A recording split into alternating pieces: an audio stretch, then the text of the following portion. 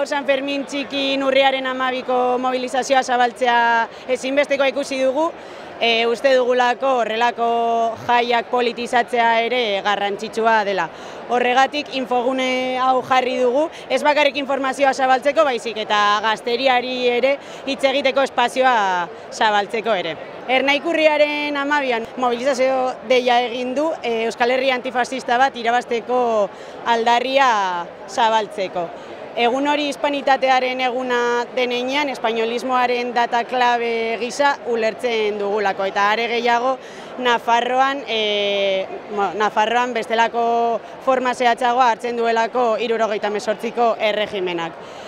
Argi dago eskuin muturraren gorakada baten aurrean gaudela eta eta honek fascismoaren oldarraldi baterako estenatoki perfektua dela. Adibide, adibide ugari daude, ba izan e, autoritarismoaren gorakada Lizarrako txosnekin, e, tuterako jaietan kara al sol entzun behar izatea kaletatik barna, e, Euskaldunekiko gorrotoa eta bar eta bar.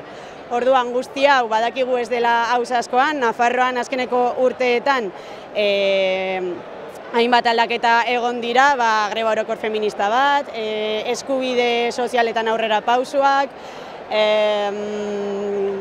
Euskararen aldeko ekimenak eta bar eta bar, eta orduan badakigu eskuin muturraren erreakzio, edo eskuin muturrak erreakzionatu besterik ez duela egin. Beraz, besterik gabe azpimarratzea urriaren amabian tafaian mobilizatuko garela, hispanitatearen eguna edo gotorleku izatetik borroka eguna izatera pasatzeko. Iruñerriako busa aterako da Antoniutitik amaika terditan eta hueltatuko da tafaiatik Antoniutira arratsaldeko bostetan. Apuntatzeko, eh, Monton Tabernan.